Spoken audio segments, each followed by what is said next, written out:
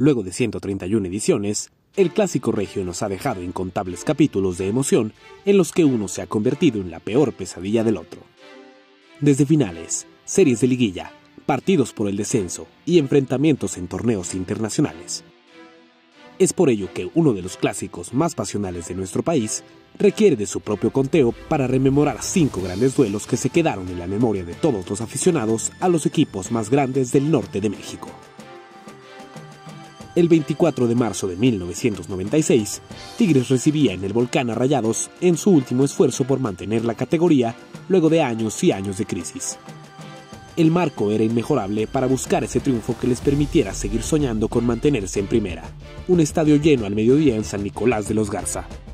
Todo parecía empezar a pedir de boca para los locales, pues apenas al minuto 18, Omar Arellano adelantaba a los dirigidos por Víctor Manuel Bucetich, apoyado en buena parte por un desvío de la defensa rayada. No obstante, las sonrisas duraron exactamente cinco minutos. Eso fue lo que tardó Sergio Verdirame en impactar de zurda un estupendo centro de Raúl Aredes, decretando el empate y provocando que la afición felina comenzara a sudar frío. Lamentablemente para ellos, todo se vino abajo con el segundo tanto, obra de Luis Miguel Salvador, quien con una media vuelta algo machucada, clareó a Robert Dante Siboldi para definir el gol que mandaba el descenso a los Tigres. Los de la Universidad de Nuevo León tuvieron varias opciones de empatar, así como también pudieron recibir el tercero. Pero las redes ya no se movieron y tras la inolvidable frase del histórico Don Robert, Tigres consumó el descenso a la segunda división.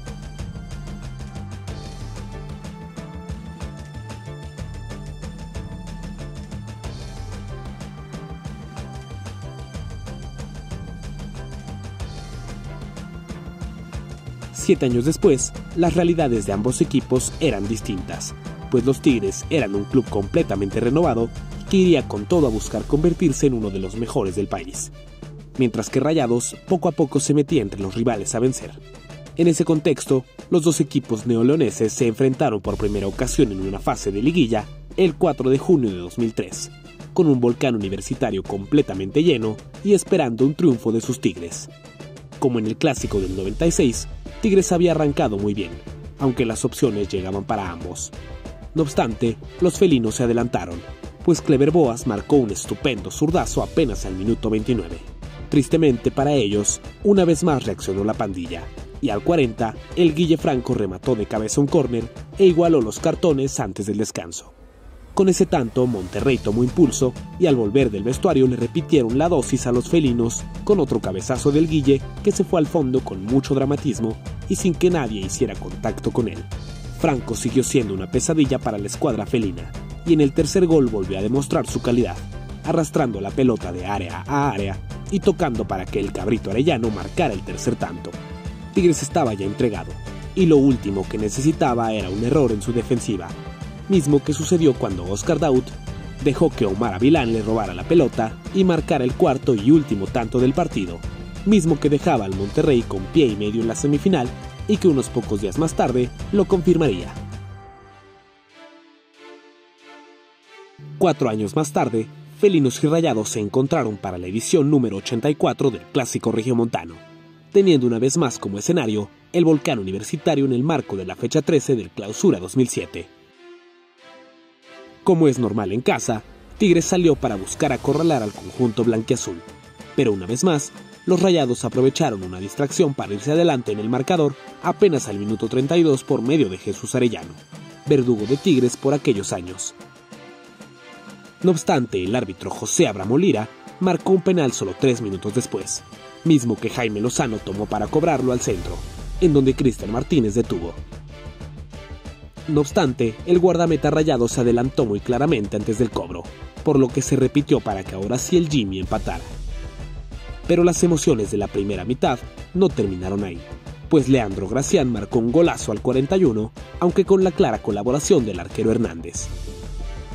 Para mala fortuna de los rayados, Abraham todavía tenía bajo la manga una nueva polémica, pues al 43 señaló un inexistente penal de Severo Mesa mismo que en un solo intento, el Jimmy mandó a guardar para volver a emparejar todo antes del final del primer tiempo.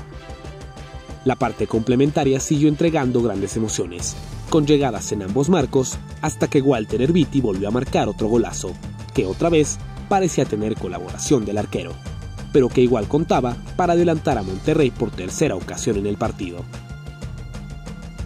Justo a la mitad del complemento, Tigres parecía bajar ya los brazos tras la enésima polémica del partido, la expulsión de Fabián Cubero.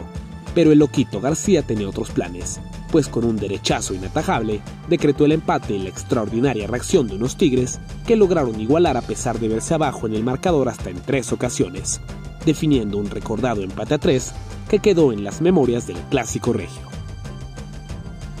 Viajamos ahora sí a la etapa moderna del clásico, cuando hablar de Tigres y Monterrey es hablar de dos de las escuadras más poderosas de México, por lo que llegaron a enfrentarse en muchas liguillas, una de ellas en los cuartos de final del Clausura 2017 a disputarse en el volcán, tal y como todos los anteriores partidos repasados en este video.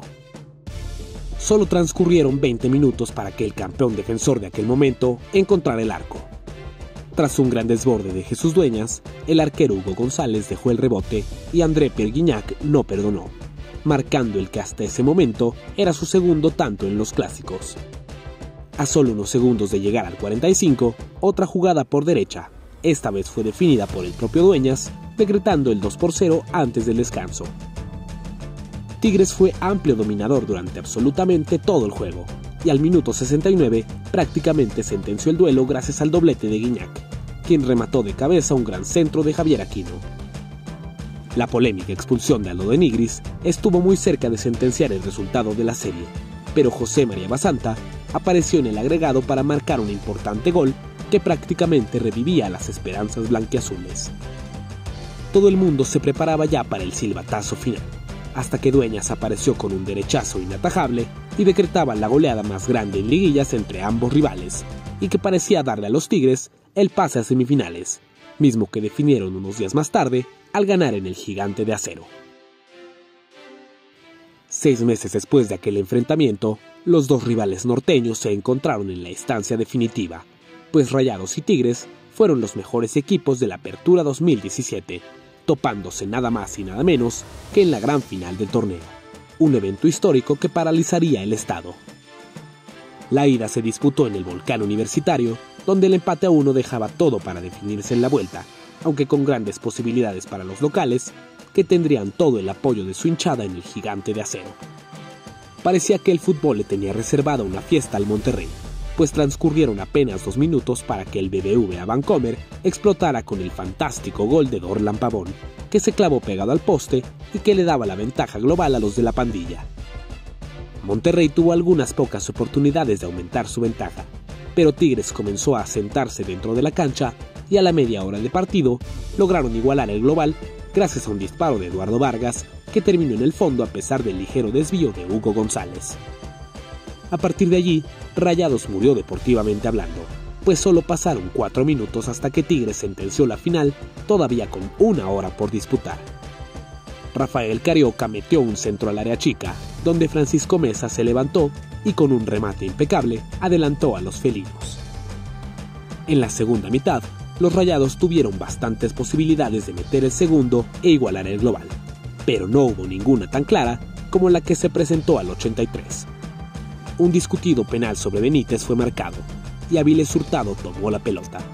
Este cobró y lo mandó muchos metros desviado, poniendo ahora sí el último clavo al ataúd rayado, pues con esa falla ya no pudieron hacer absolutamente nada para volver.